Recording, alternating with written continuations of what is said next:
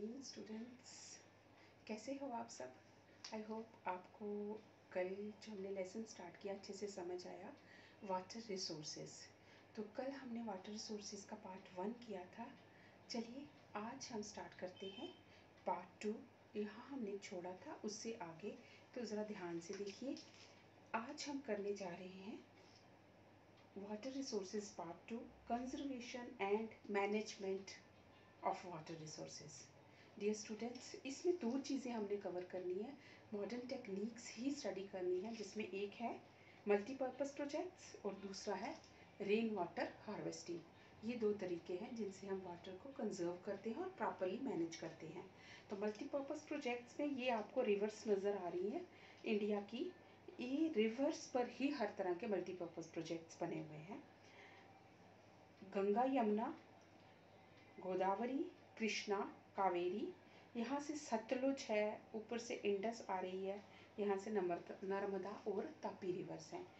दूसरी चीज़ हम पढ़ेंगे रेन वाटर हार्वेस्टिंग जिसमें ये घर घर की रूफ रूफ टॉप पे कैसे पानी को बचा के ये डायग्राम है। रेन वाटर हार्वेस्टिंग की आप इसका प्रोजेक्ट भी बना चुके हो और आगे भी आप इस लेसन से रिलेटेड प्रोजेक्ट बनाओगे। तो डियर स्टूडेंट्स चलिए हम इस लेसन को स्टार्ट करते हैं।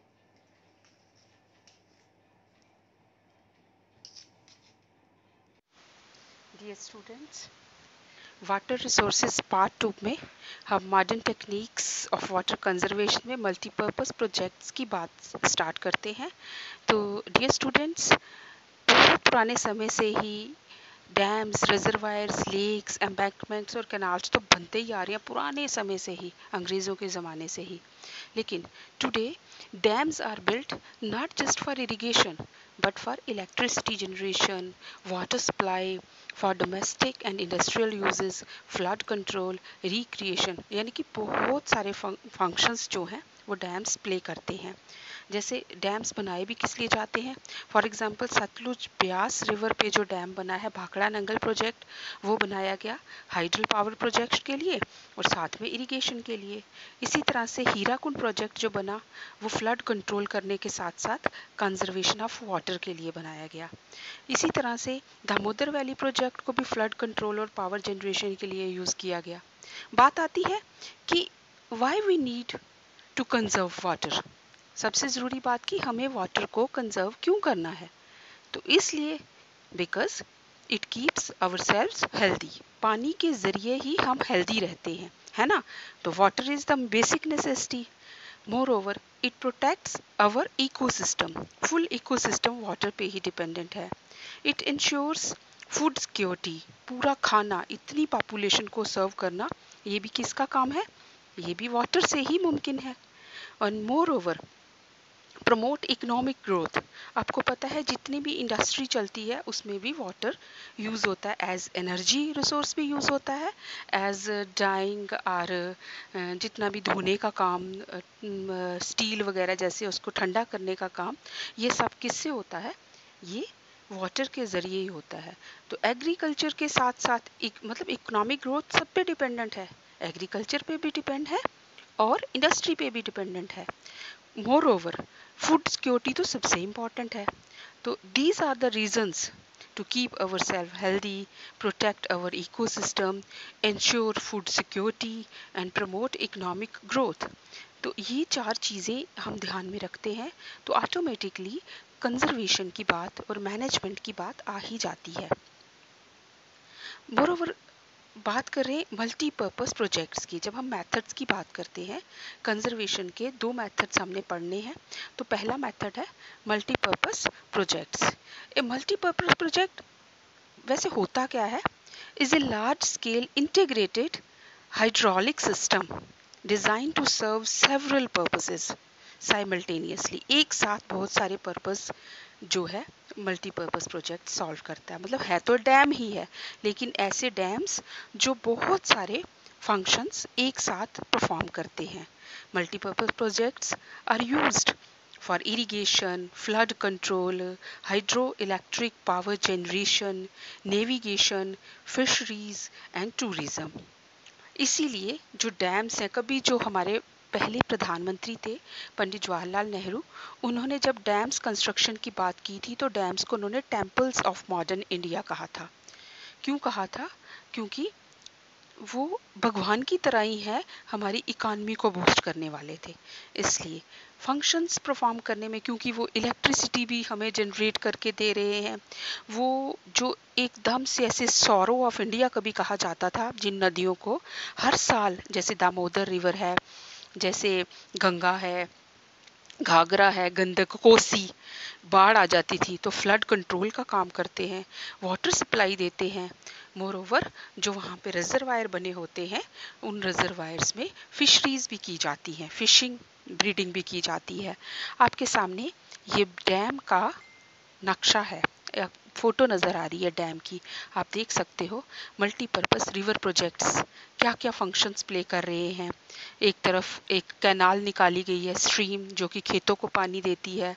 सीनरी ब्यूटीफुल सीनिक स्पॉट बन जाता है ये पिकनिक स्पॉट बोटिंग के काम में आता है मल्टीपर्पज़ प्रोजेक्ट में बोटिंग भी की जाती है। इसके अलावा फ्लड को तो कंट्रोल करता ही है। तो जनरेशन ऑफ़ हाइड्रो इलेक्ट्रिसिटी की यहाँ बात है। तो ये मेन सोर्स ऑफ़ पावर है। They provide us neat pollution free and cheap energy है ना? Which is the backbone of industry and agriculture इसमें से किसी तरह का कोई पोल्यूशन नहीं होता जो एनर्जी यहाँ से जनरेट की जाती है। फ्लड कंट्रोल की बात करें तो these projects control the floods because of their huge water storing capacity क्योंकि पीछे रिजर्वायर में ही पानी को स्टोर किया जाता है, जिसकी वजह से फ्लड्स का खतरा टल जाता है। These projects have converted many rivers of sorrows into rivers of boon sorrow means दुख मतलब जब बाढ़ आती थी कोसी जैसी रिवर्स में, दामोदर रिवर्स में तो लाखों का नुकसान होता था जान माल का नुकसान होता था, जो कि अब बाँध बनने की वजह से मल्टीपर्पज़ प्रोजेक्ट बनने की वजह से ना केवल इलेक्ट्रिक इलेक्ट्रिसिटी सप्लाई हो रही है आसपास के एरियाज़ को, बल्कि उसके साथ साथ इरिगेशन के लिए भी काम में लाया जा रहा है। फ्लड भी कंट्रोल हो चुका है। है ना? तो these are the some of the benefits dams control flood और इस तरह से एरियाज़ भी सेव होते हैं। इसके अलावा जो ये डैम्स बनाए जाते हैं, उसके पीछे जो लेक्स होती हैं, वो बहुत अच्छी फिशरीज के ग्राउंड होते हैं। These provide ideal condition for breeding of fish chosen varieties of fish are allowed to grow मतलब स्पेशल वेराइटीज़ की फ़िश यहाँ पर ग्रो की जाती है। मोर ओवर सबसे इंपॉर्टेंट बात, ये मल्टीपर्पज़ प्रोजेक्ट जो है, ये आर ये these are the tourist attractions these projects are well cared and are scientifically developed इनको properly develop किया गया है पिकनिक मनाने जाते हैं लोग यहाँ पर so these become the centers of tourist attractions and also offer recreational avenues to the adjoining villages and towns जहाँ जहाँ पे ये multipurpose projects हैं उन areas के आसपास के जो इलाके हैं वहाँ से इवन दूर दूर से भी लोग इनको देखने के लिए जाते हैं जैसे हम सलाल प्रोजेक्ट पिकनिक मनाने जाते हैं ठीन डैम है उसको देखने जाते हैं भाखड़ा डैम डैम तक भी लोग पिकनिक एक तरह से एक्सकर्शन करते हैं। ये एक जोग्राफिकल टूर की तरह भी लिया जाता है और यहाँ पर देखा जाता है। ये तो थी इसकी कुछ जो एडवांटेजेस हैं। लेकिन इसके साथ साथ एक चीज़ और भी आ जाती है कि जब ये डैम्स बने हैं तो इनके कुछ एडवर्स इफ़ेक्ट्स भी हैं, यानी कि इनके कुछ ड्रॉबैक्स भी हैं। फर्टिलिटी पर अफेक्ट करते हैं ये सबसे ज़रूरी। Poor sediment flow and excessive sedimentation has resulted to the loss of fertility of soil क्या होता है कि जो मिट्टी है, जब पानी बहता है तो उसके साथ सेडिमेंट्स भी बहते हैं तो ज़्यादा सेडिमेंटेशन होने के मतलब जो गारा जिसको आप बोलते हो, ज़्यादा जब जम जाए बॉटम में, किसके बॉटम में? जो ऊपर रिजर्वायर होता है, वहाँ पर। जब थोड़ा पानी छोड़ा जाता है तो जो मिट्टी है वो पीछे ही रह जाती है। तो वो एक एक्सेसिव सेडिमेंटेशन जो है, वो उसका काम करते हैं, जो अफेक्ट करते हैं नेचुरल फ्लो को। एक्वेटिक लाइफ पे भी बहुत बुरा असर होता है। एक्वेटिक लाइफ मीन्स जितनी भी पानी की जो लाइफ है स्पेशली जो फिशेस वगैरह हैं dams also fragment river making it difficult for aquatic fauna to migrate क्योंकि पानी को रोक दिया जाता है तो जो एक्वेटिक लाइफ है, वो प्रॉपरली फ्लोरिश नहीं कर पाती ऐसे एटमॉस्फेयर में तो क्या होता है? उससे एक्वेटिक लाइफ को नुकसान होता है। Due to construction of dams the fish in the downstream area do not get sufficient nutrient supply उनको प्रॉपर न्यूट्रिय सप्लाई नहीं मिलती है फिशेस को। इस वजह से difficult for aquatic fauna to migrate for spawning और टू प्रोड्यूस एक्स उनको प्रॉपर प्लेस न्यूट्रिएंट्स नहीं मिलते ताकि उससे और ज़्यादा फिशेज डिवेलप हो सके। लॉस to biodiversity, जिसकी वजह से क्या होता है? ज़्यादा नहीं डेवलप हो पाती फिशेस उसके बाद आ जाता है कि डैम्स की वजह से जो डैम्स के आसपास के एरियाज़ हैं, वो पानी में सबमर्ज हो रहे हैं. It is a an adverse impact on the environment इसकी वजह से लोगों की डिस्प्लेसमेंट हो जाती है कम्युनिटीज़ की डिस्प्लेसमेंट हो जाती है building of large dams results in displacement of local communities आसपास के रहने वाले लोगों को वहाँ से जाना पड़ता है। इसके अलावा क्या होता है? एनवायरनमेंट पे भी इसका असर पड़ता है। क्रॉपिंग पैटर्न भी इसकी वजह से चेंज हो जाता है। Farmers have started growing water intensive crops क्योंकि पानी सही तरह से उनको मिल जाता है।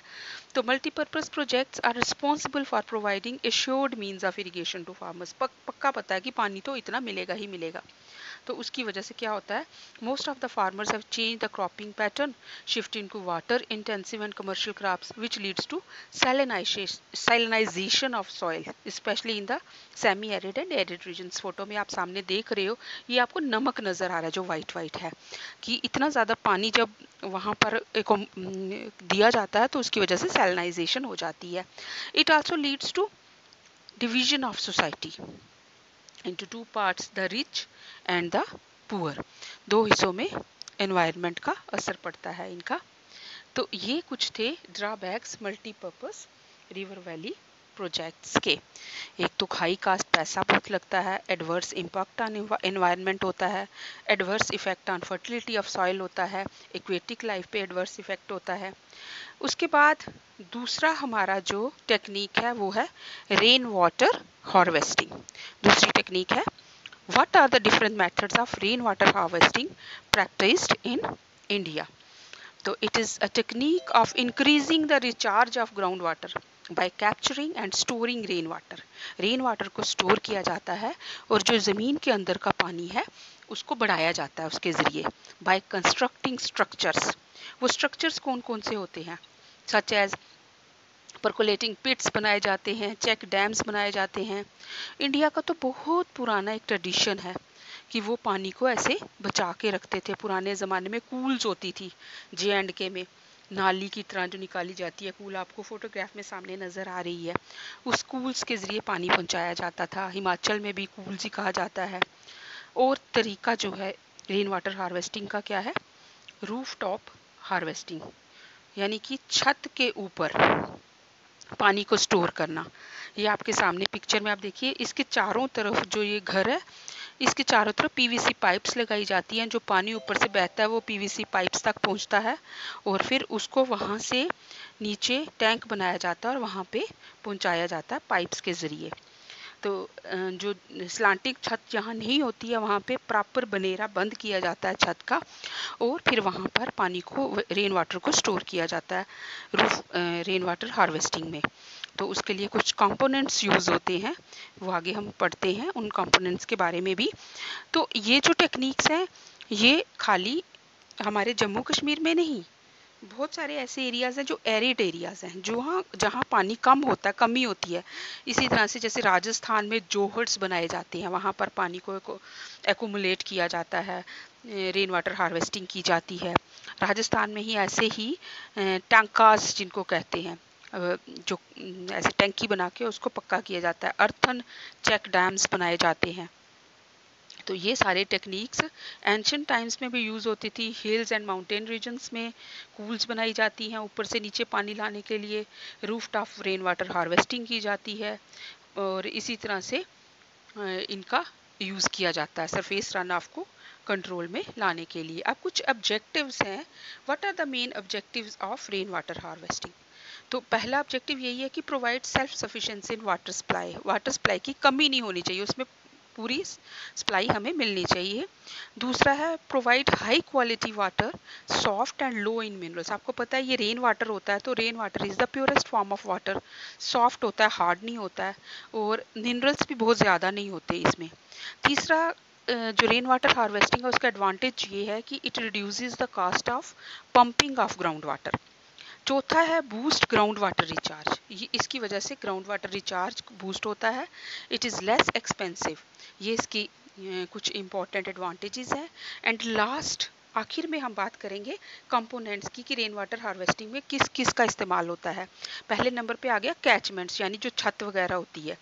दूसरे नंबर पे कोर्स मैश एक जाली लगाई जाती है ताकि पत्थर, बजरी वगैरह ना आ जाए पेबल्स को रोकने के लिए। गटर्स बनाए जाते हैं, तीसरे नंबर का कंपोनेंट है, चौथा है कंड्यूट पांचवा है कंड्यूट क्या होता है? Pipelines drains that carry rain water पांचवा है फ़र्स्ट फ्लशिंग यानी कि एक वाल्व लगाया जाता है ब्रेन का जो पहला पानी होता है, उसको फ्लश कर दिया जाता है।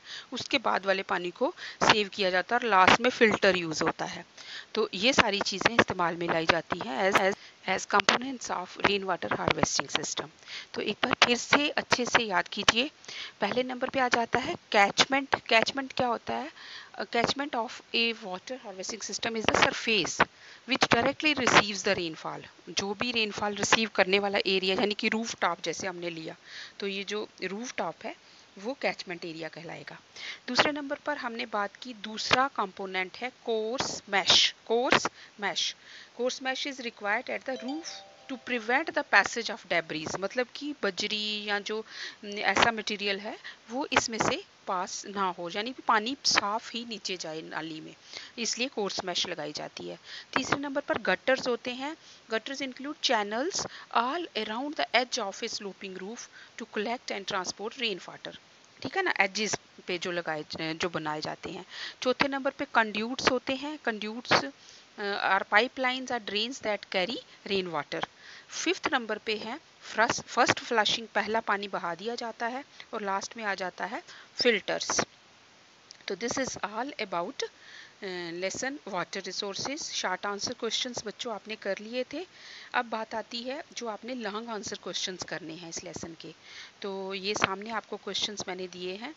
तो इनको देख लीजिए अच्छे से। जो लेसन हमने पढ़ा, जितना पढ़ा, ये पूरे आंसर्स उसी में से ऑटोमेटिकली आपको आप खुद भी बना सकते हो। इतने आसान हैं ये। Name the major users of water फिर उसके बाद दूसरा क्वेश्चन जो है, ये मेजर यूज़र्स ऑफ़ वाटर बताना है आपको। And also suggest measures to solve water crisis दूसरा, आपने what are the multipurpose projects and highlight their merits and demerits फिर आपने बताना है define irrigation and highlight its importance fourth question है highlight the advantages and disadvantages of tube wells और पाँचवा question जो है, वो है रेन वाटर हारवेस्टिंग पे very very important what is rain water harvesting mention various components of rain water harvesting system और fill in the blanks आपने करने हैं और उसके बाद एक मैप करना है रिवर सिस्टम्स ऑफ़ इंडिया का। उसमें दोनों तरह की रिवर्स आपको मैंने अभी सामने मैप में आप देख भी सकते हो। And this is all about water resources dear students with this lesson completes have a nice day.